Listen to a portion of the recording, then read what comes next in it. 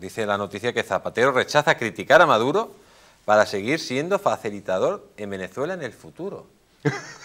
Esto es increíble. O sea, claro, pero ¿cómo, cómo directamente eh, va a criticar a Maduro? Si es, tiene un lobby en Venezuela, es un lobista de Venezuela, es el canciller de exteriores de Venezuela. Dirige la política exterior de Venezuela junto con la política exterior de España. Tenemos al otro lado de Sky a nuestro querido Carlos, Carlos Molina. Buenas noches, ¿cómo está usted? Buenas noches, un gran placer estar nuevamente con ustedes. Em, evidentemente, lo que está haciendo Maduro en Venezuela es un crimen de lesa humanidad, pero lo que está ayudando Zapatero para que eso se consiga, eh, lógicamente tiene también otro nombre, ¿no? Bueno, Zapatero es un, socio de Maduro. Zapatero no es confiable para la democracia, es confiable para la dictadura de Maduro. Recordemos que Zapatero se viene metiendo en todas las negociaciones que lleva el régimen de Maduro y es un facilitador. Y sabemos que Zapatero en el 2018 amenazó a unos diputados porque no estaban de acuerdo cuando aquella reunión en República Dominicana. De manera que no esperamos otra cosa de Zapatero, sino que apoya a Maduro. Y yo lo he dicho muchas veces, eh, Zapatero eh, eh, no se parece al PSOE, se parece más al Partido Socialista Unido Venezolano. O sea, Zapatero tiene la mentalidad de Chávez y Maduro y raya de centro izquierda más a la izquierda. Y repito, no es confiable, es odiado y repudiado por la sociedad civil venezolana, tanto en Venezuela como, como la diáspora de manera que para nosotros no es confiable. Eh, un ejemplo de, Felipe González, totalmente eh, diferente a la posición de, Zapatero. Eh, usted fue exconsejero de Seguridad y Defensa de Venezuela.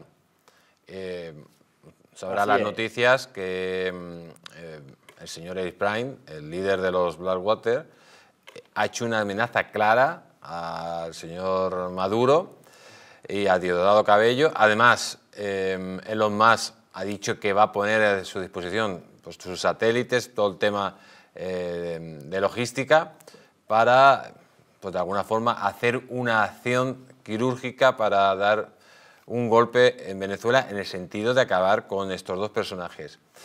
Em, ¿Usted cree que esto podría pasar o que el ejército venezolano está también preparado por ejemplo, como el ejército de, Israel, y es capaz de atacar este, este ataque que dicen que sería con drones? Eh, bueno, para, para, para, estar en contexto, todos los venezolanos estamos trabajando por, por, por, la libertad de Venezuela. Venezuela es un país secuestrado desde hace años, pero evidentemente la grosera estafa de las elecciones han llevado a que muchos organismos internacionales, inclusive de, de izquierda, extrema izquierda, no se rayen con Maduro.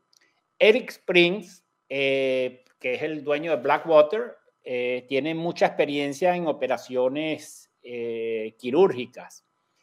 Y esto es parte de la ecuación de presión que estamos haciendo para Maduro, porque va, como parte de la guerra psicológica y de la guerra de información.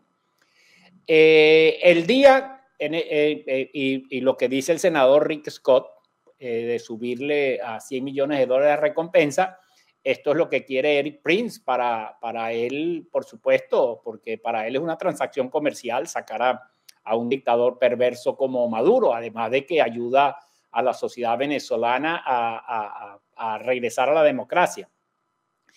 Pero evidentemente que eh, el día, si se da una operación de este tipo, de, de neutralizar y tomar como rehén al dictador y llevarlo a Estados Unidos para que sea procesado, nadie se va a inmolar por Maduro. Las Fuerzas Armadas, los generales y almirantes tienen muchos millones de dólares robados como para ellos morir por, un delincuente como Maduro. Y el resto de las Fuerzas Armadas están operando, un, están esperando un punto de quiebre para voltearse hacia la democracia. De manera que todo esto constituye eh, un plan de operaciones psicológicas que se puede ejecutar y materializar con una intervención en Venezuela.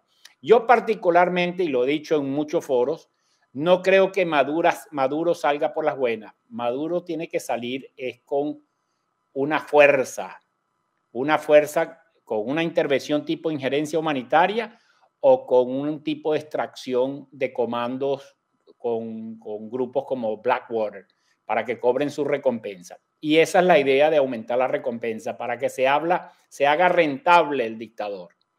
De manera que estamos trabajando en eso y, cualquier cosa puede suceder. ¿Qué quiere decir usted que está trabajando en eso? Bueno, este, estamos en ello, estamos en ello. O sea, sé que las noticias del líder de los Blackwater, algunos, aquí en España hay medios de comunicación que está diciendo que no, que es todo falso, o sea, es algo real, porque él ha, salido públicamente y lo ha dicho, ¿no? Es real, es real. Yo actualmente me encuentro en Florida y les puedo decir que es real.